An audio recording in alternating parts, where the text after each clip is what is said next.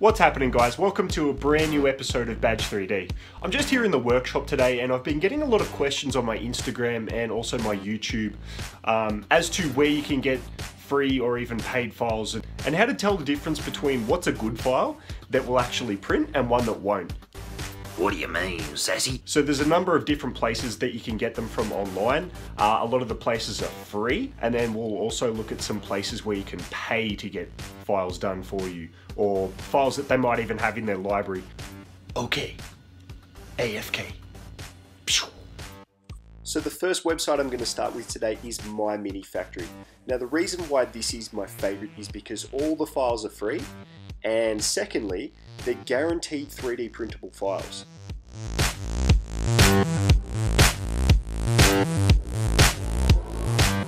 Okay, so next up is the very well known Thingiverse. This is probably the actual number one place that people go to get files. The only problem is anyone can upload a file, so not everything is guaranteed that it can be 3D printable, so you'll just have to do your own research to verify that. And the way you can do that is by looking at some of the thumbnails. If the thumbnail is a, a, final 3D printed part, then it's obviously being printed. But if it's still just a file on the software itself, um, you might want to just double check that before you download it and print it.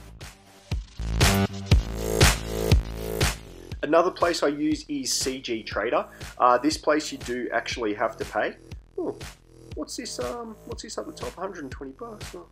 I'm sure there's terms and conditions, but sometimes I use this place because you can get some fairly decent 3D models from here, uh, from independent designers who upload them uh, for the sole purpose of obviously making money. A lot of the 3D models that I've got here are very, very good.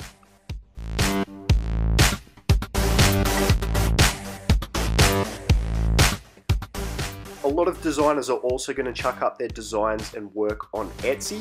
Um, I wanted to check out this one. It was Yondu's Fin from Guardians of Galaxy 2.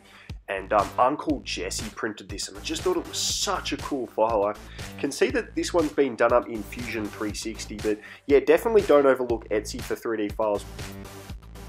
Now the last place I'm going to tell you about is Do 3D. Now I personally love these guys.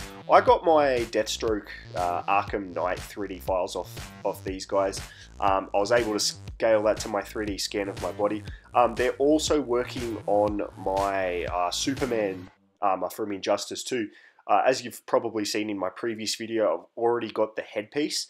Um, I've printed that mask that you can see there in the picture as well. I just did it way too big when I had absolutely no idea what I was doing. I still kind of don't, but hey, you guys are listening to me, so I must. But um, yeah, no, really happy with Do 3D. They've done me some um, great stuff in the past, and I'll probably continue to use them.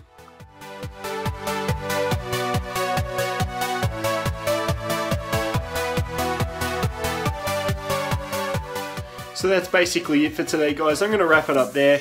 I'm getting really hungry and I want to make myself um, something to eat. But as per usual, leave me some feedback below in the comments as to you know where else you might be able to find some 3D files or where other sites that you guys have tried that you really like. Also, don't forget to hit the like and subscribe button. Really helps me out.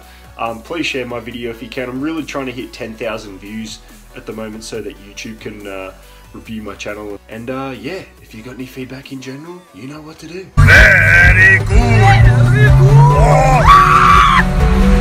I like living.